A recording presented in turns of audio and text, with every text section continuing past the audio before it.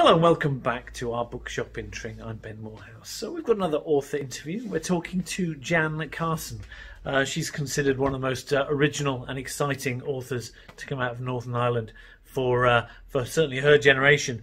And uh, her new book is called The Fire Starters. Uh, which is a uh, dark, propulsive, and thrillingly original. This tale of fierce familial love and sacrifice fizzes with magic and wonder. Um, previously, uh, Jan has written the postcard stories um, every day in 2015. Jan uh, wrote a story on the back of a postcard and mailed it to a friend. In this collection of highlights, Jan Carson presents a panoramic view of contemporary Belfast, its streets, coffee shops, museums, and airports through a series of small but perfectly formed snapshots of her home. Now, at the end of this interview, she does read from her latest uh, series of stories.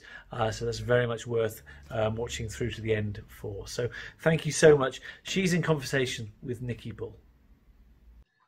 Thank you, Ben, and thank you particularly for giving me this opportunity to catch up with my friend Jan from Northern Ireland. We haven't spoken for a while, but uh, we've been in touch via Facebook a lot. Jan is the author of a number of books, and most recently, The Fire Starters, which received a literature prize and sent her scurrying around the world on various workshops, but literary festivals, etc. So she's going to talk to us a bit about that and about the things she's been doing during lockdown and uh, and the plans for the future. Jan. Hi Nicky, it's lovely Hello. to see you. Thank you for having me. So tell us a little bit about how you came to write the fire starters. It's obviously set in Belfast, where you know the area very, very well. And two main characters and their children with overlapping stories. Tell us a little bit about it.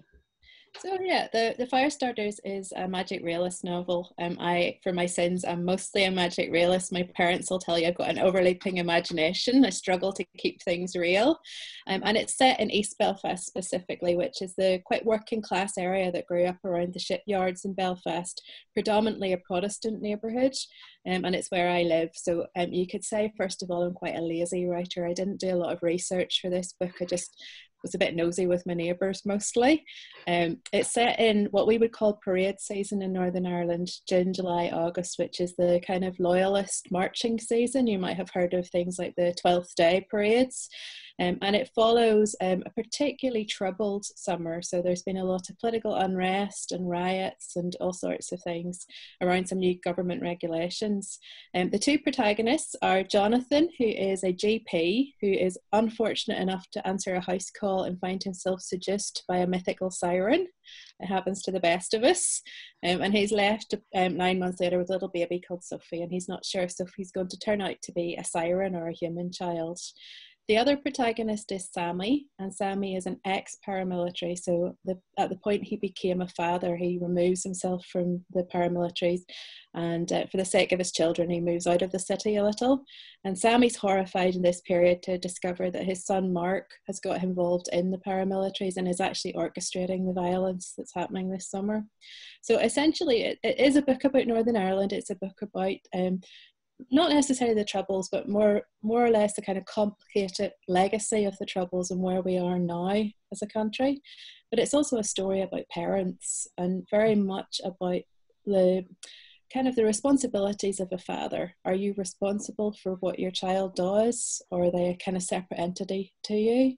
Um, and I guess for me, the idea for the fire starters came from was actually given a talk in Washington DC. Um, and I had read a magic realist short story and followed that up with a piece of realist fiction about these enormous bonfires that the Protestant community builds here every summer.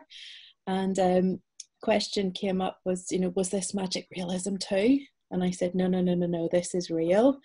And I, at, at that point, realised first of all there wasn't a little lot of understanding outside of Northern Ireland about the kind of loyalist culture that goes on here, and secondly that there was something almost fantastical, super mundane about some of these symbols that we associate with loyalist culture. So the giant bonfires are sometimes 70 foot tall.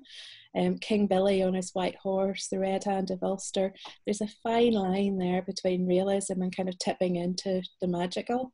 And that, as a magic realist, that really fascinated me because my background is in um, very politically charged magical realism. So, Gabriel Garcia Marquez and Günter Grass and Salman Rushdie, whose politics and kind of social social um, analysis interlapped with the fantastical. And I thought, well, where better but Northern Ireland to do that? So that's kind of a, everything in a nugget there. Yeah, so Jan, you, you mentioned being in Washington there, and I know that after your book was published, you ended up going all over the world. How did you find speaking about the, the very particular situation in Belfast in countries as far as part as um, India, I think I'm right, India and places in Eastern Europe, where perhaps they had no idea, some of them, about the situation in your book? Um, I think that do that. It, it's interesting like you you encounter two different levels of kind of understanding about northern ireland. Particularly in north america there is a real sense that the kind of the Catholic, the nationalist narrative of the Troubles is what people are familiar with. So um, I mm-hmm. think Hollywood, particularly, has played a huge role in that. You know, if you see anything represented, it's usually kind of the Republicanism of, of the Northern Ireland conflict. So I've had people walk out of readings in disgust and things as soon as I say I'm a Protestant, which is interesting. And some people don't understand that there are Protestants in Northern Ireland. Um, the, the flip side quite it, disconcerting.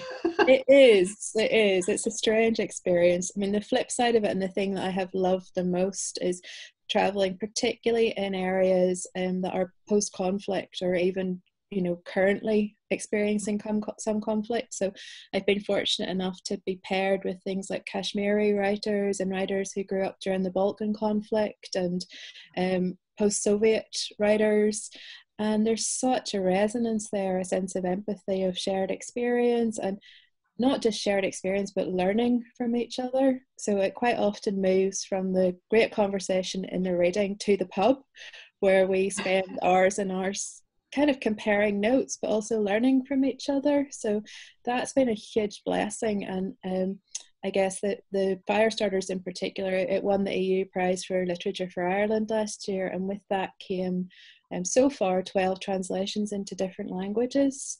So it's currently translated into Spanish and Italian, and we have languages like Croatian and Arabic and all sorts of different languages forthcoming. And that opens for more doors to have these conversations.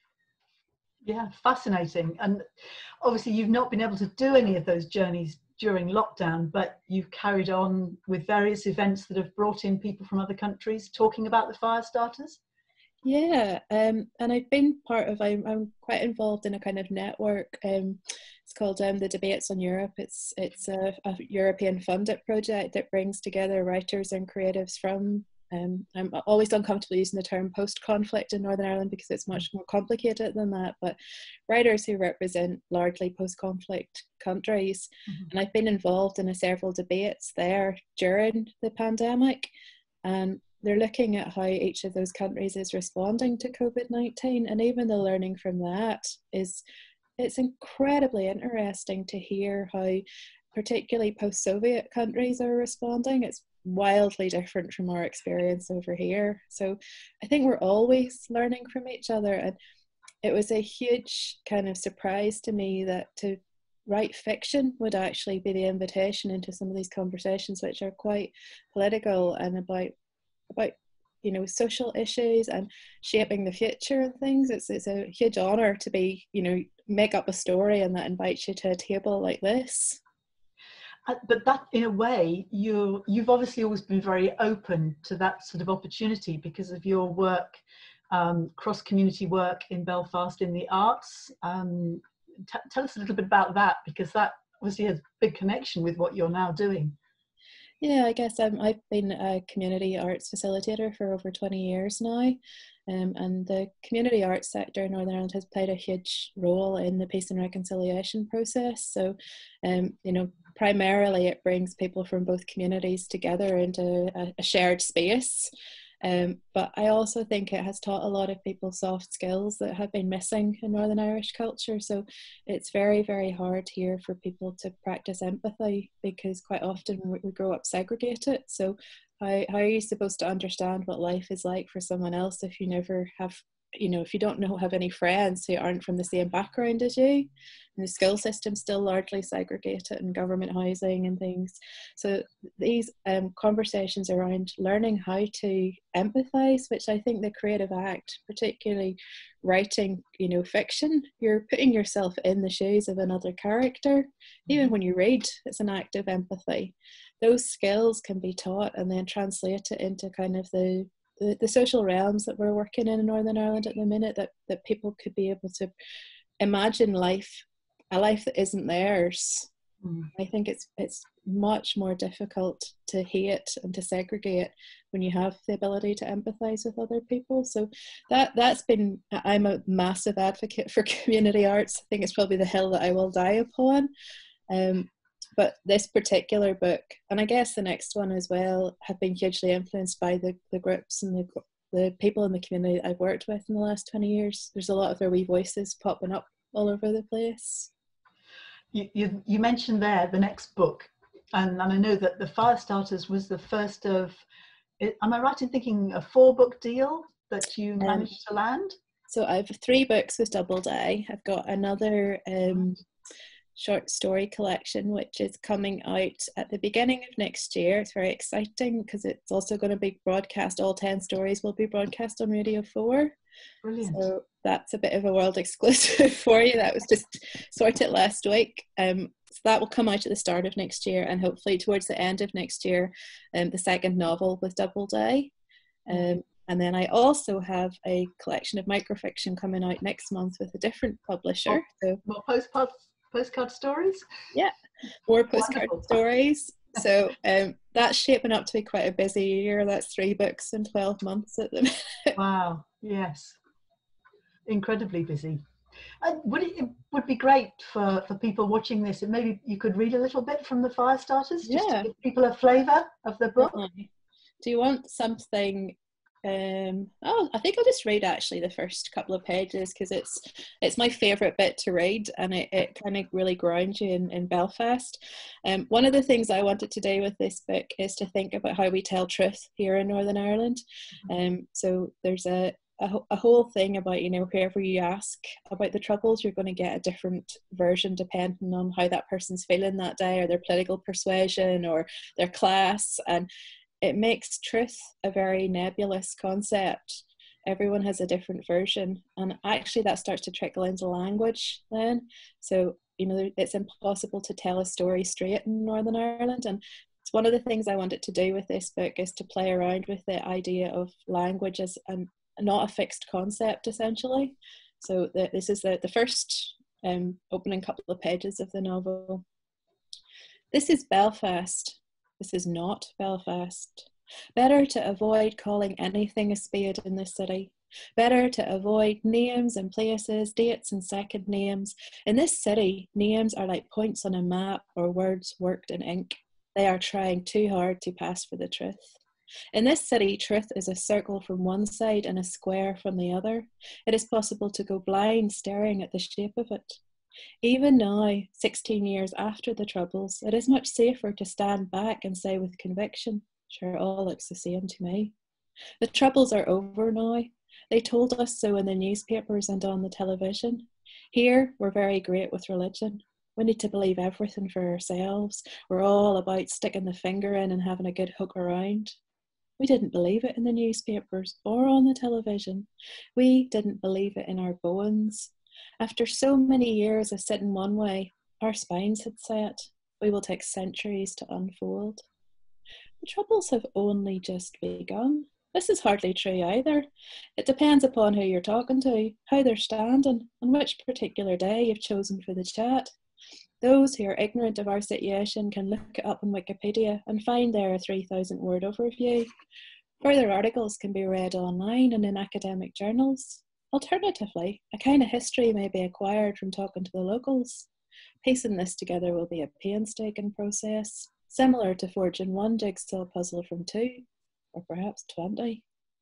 The Troubles is too less a word for all of this. It is a word for minor inconveniences such as overdrawn bank accounts, slow punctures, a woman's time of the month. It is not a violent word. Surely we have earned ourselves a violent word, something as blunt and brutal as apartheid. Instead, we have a word like scissors, which can only be said in the plural. The Troubles is, was one monster thing. The Troubles is, are many individual evils caught up together. Other similar words include trousers and pliers. The Troubles is always written with a capital T as if it were an event, as the Battle of Hastings is an event, with a fixed beginning and end, a point on the calendar year. History will no doubt prove it is actually a verb, an action that can be done to people over and over again, like stealing. leave it there. You can probably tell my accent gets thicker and thicker when I start writing. Thank you.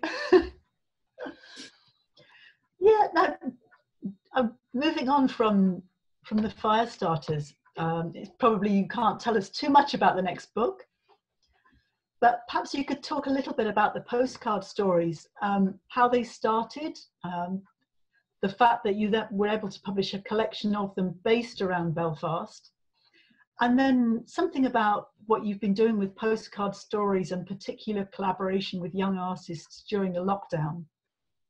Yeah, so um, postcard stories for me started in 2015. I had published my first two books, and I had a dreadful case of writer's block. Um, and I, I keep telling people at the minute, um, productivity is my coping mechanism. Um, probably better than developing a heroin addiction, so I'm just going to go with it.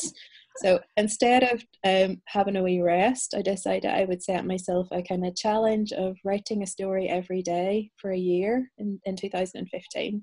Um, and the concept was that I actually have some sitting here. Um, the idea behind it, to keep it simple, was that they would have to fit on the back of a postcard. So I've got stacks of postcards now. So just your normal kind of one like this. Yeah, there's one of. One you sent me. yeah. Um, so have to fit it on the back, which limits me to for me now 300 words um, and I sent them physically posted them to friends all over the world um, now um, about a year after that the Emma Press who are mostly a, a poetry publisher they approached me about the possibility of publishing a selection of them. So it's a selection in the first collection of about 50 of them, one for every day of the year or every week of the year. Um, and there are 50 of my favourite. They're all based around Belfast and they are beautifully, beautifully um, illustrated by Benjamin Phillips, who's a fantastic illustrator. Um, so I continued to write that because of, I'm, I'm, an agent, I couldn't give it up.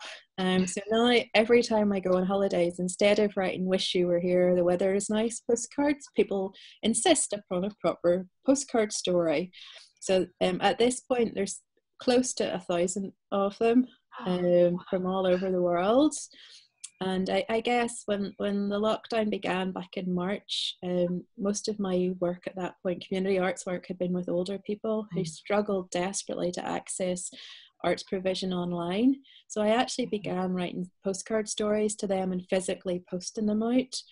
And then I thought it'd be nice to get a little bit of colour with them. So I began to ask friends who had kids if they would illustrate them and it all spiraled out of control very quickly. so 105 days later, um, I have had 135 young artists illustrating for me. We've had collaborations. So someone made a comic book, which was wonderful. Um, we collaborated with some grown-up illustrators who illustrated the kids' short stories, which was gorgeous. Um, we've had amazing, amazing feedback. Um, nursing homes telling us that you know people gather around to hear their postcard story each day. I have um, a lady who's visually impaired, and someone phones her up every morning to read the story down the telephone to her. Um, and we were here in Northern Ireland anyway, we were featured on the BBC News, which was extremely exciting for all of my wee illustrators. Um, so regardless of all that, I had already planned to publish a second volume of postcard stories, and it will come out now in August, about a month from now, with the Emma Press again. Um, sadly, none of the coronavirus postcards will be in that because it, it was all edited and good to go before this happened. but who knows? Maybe we'll get a third edition. With yes, volume work. three waiting yeah. in the wings. yeah.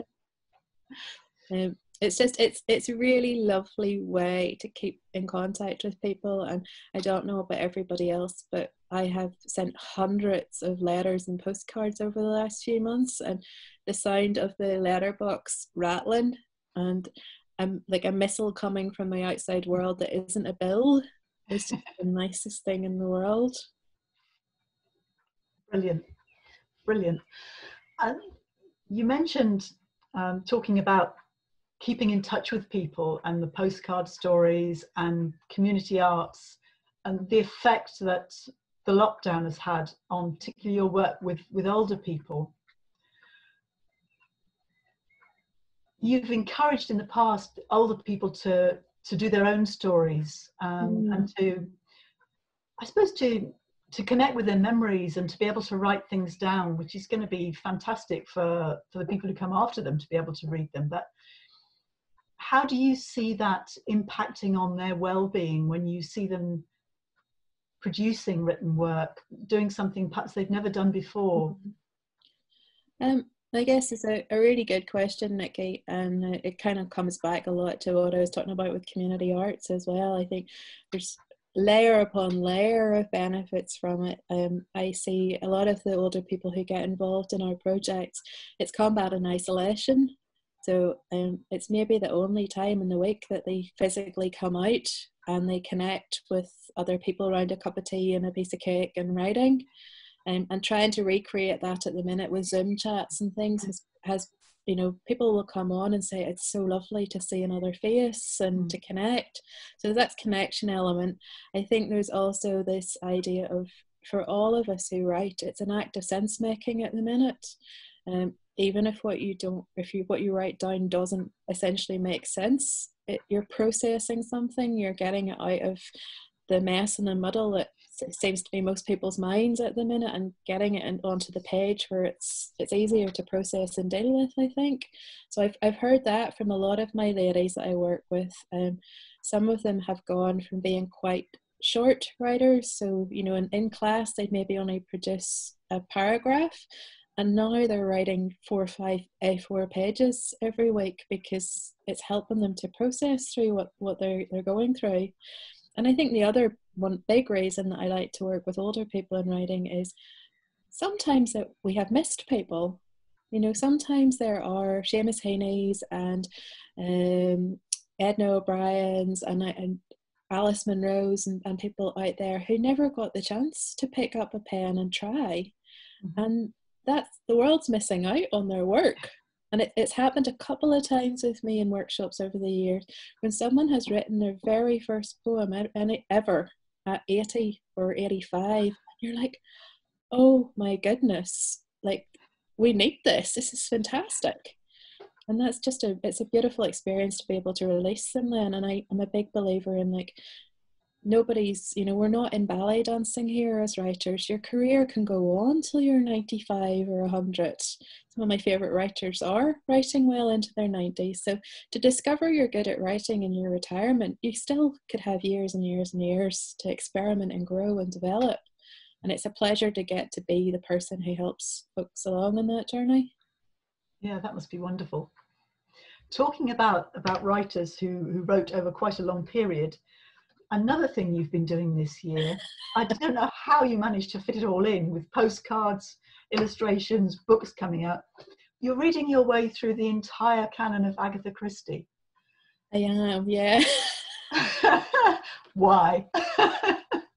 um, simple reason is it's her centenary in autumn, so it's 100 years since her first public, published book. And I've always been a big Agatha Christie fan, and I thought I, I probably read most of them before in the past, but I sort of thought, if not now, when? It's a, a good chance. And I'm, I'm more than halfway through, so I'm on target. Um, what has been interesting is how Agatha Christie has resonated with this year. Um, one of the things I'm super interested in at the minute is our love of nostalgia. So if you look at, you know, you have to watch the adverts between TV at the minute, and you've got Take That reforming and 80s pop groups, and people hauled out of like soaps from the the 70s and stuff.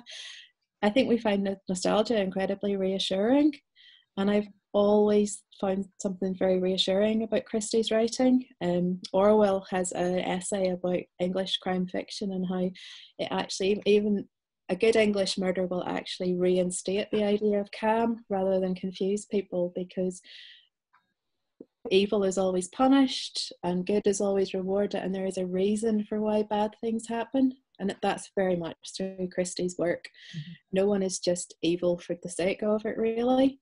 So I think there's that element. The other thing, in light of what's going on in the world at the minute, that has been really interesting is to watch the progression of her attitudes. So I'm reading them chronologically, and I don't think anybody would argue against the fact that she was a raging xenophobe and definite racist undertones and misogyny and all sorts of things, especially in her early work. It's interesting to watch her challenge and develop those attitudes as her, her career progresses.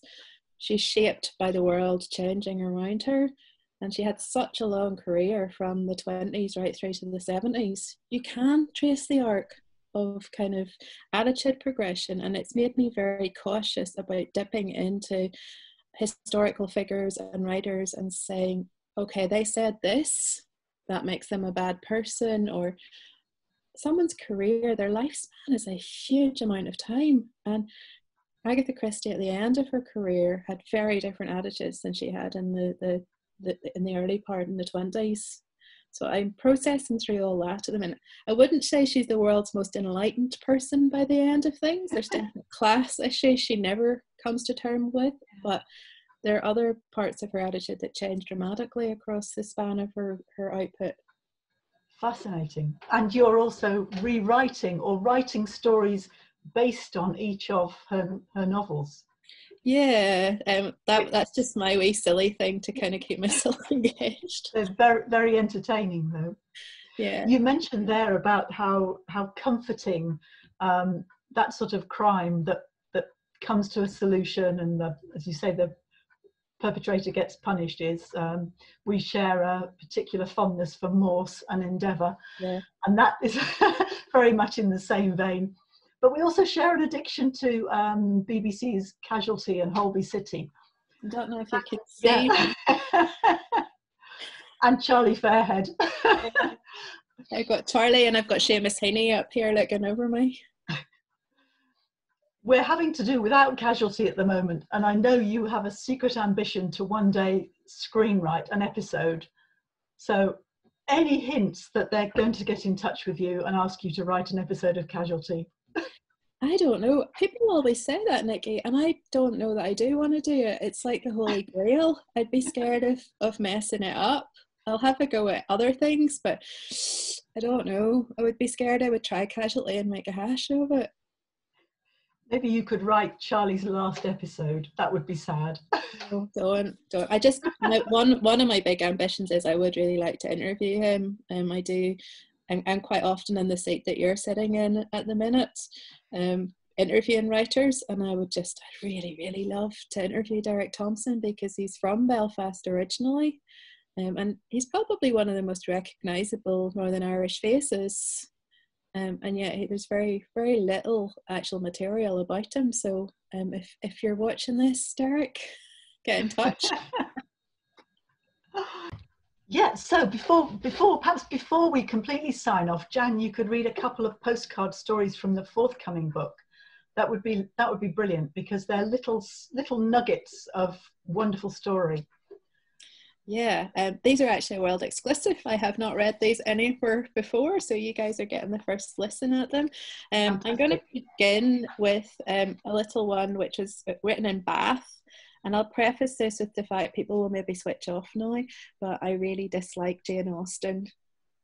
So if, if that's a problem with you, you can put your fingers in your ears now. This is about Bath. It is impossible not to imagine Jane Austen at ease in the city, walking and folding her hands in gloves. The squares are square and bordered on all four sides by privet hedges and black spiked ironwork. The buildings are the bleached blonde colour of old sand, and everywhere the ivy climbs neatly, never once taking its ascendancy for granted. Even the cobblestones are correctly angled. This is a place for moderation and discreet romance. Small intrigues might be permitted in their proper place, but even these would be tight as a well laid table or a slip of Sunday afternoon needlework. This is the kind of city which is always clean and inclined to resolve itself in the time necessary to drain a china teacup and refill. In other words, Bath is two square miles of sense and sensibility, the kind of place which made those Brontes howl um, I do love the Brontes. I had to get that in at the end. Um, and the secondary story I wanted to, to read, I was commissioned actually to write these um, two pieces about textiles, which textiles are a huge part of the Northern Irish um, history, um, linen in particular. And my grandmother, I wrote them about my two grandmothers, um, one who was a champion knitter and the other who worked in a linen mill. So this is about my, my granny Agnes who worked in a linen mill. Your father's mother was Agnes. She came from a rural townland, all vowels and phlegm to say. Her home house was a series of small box, boxes stacked one upon the other, a neat and God fearing establishment with nothing in the way of show. So many Weans went through that wee house, they ran out of good Protestant names to give them. So the last was called after the first, who died young of something you could cure with antibiotics now. Your granny was a weaver of linen, no different from all the other Agneses tending loom in Lisburn, Belfast, and Portadown. She took her lunch in her hand each morning and walked a dark mile there and back. She did not see herself party to something significant, yet each morning she took the raw yarn in her hands, and though it was as old ladies' hair or horse tails caught up in knots, saw only what it could be a handkerchief, a Sunday shirt, a finely embroidered tablecloth peeling over a big house table. She lifted her shuttle and wove the future into each tangled strand and did not stop till the mills began falling down around her.